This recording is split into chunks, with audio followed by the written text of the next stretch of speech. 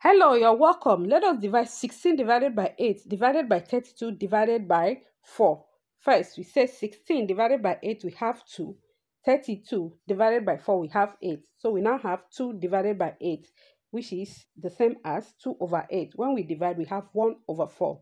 But this is wrong because we did not follow the order of operation. We have to follow the order of operation, which is PDM, DAS, P is for parentheses, E is for exponent, M is for multiplication, D is for division, A is for addition, and S is for subtraction. If you take note, all the signs in our question are all division sign. So we still have to follow the order of operation. We have to move from left to right. So let us solve. 16 divided by 8.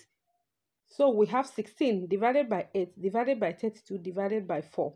First, we move from left to right. 16 divided by 8 is 2. We are now left with 2 divided by 32 divided by 4. So 2 divided by 32 can be expressed in this form, 2 all over 32. So 2 divided by 2 is 1 and 32 divided by 2 is 16. So we are left with 1 all over 16 divided by 4 all over 1.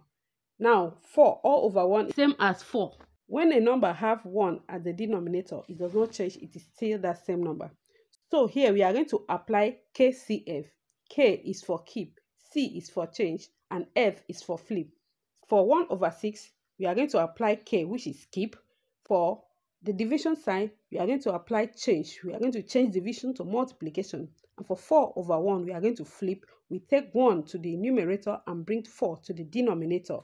We will now have 1 over 16 times 1 over 4, which is equals to 1 all over 64.